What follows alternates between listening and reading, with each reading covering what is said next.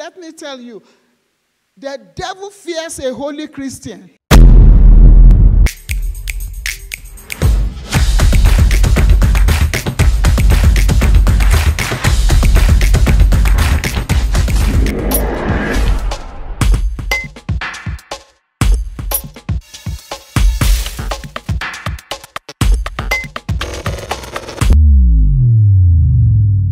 Nothing can heal you. Nothing will save you at this time. You need Jesus. Jesus of Nazareth, He answers by fire.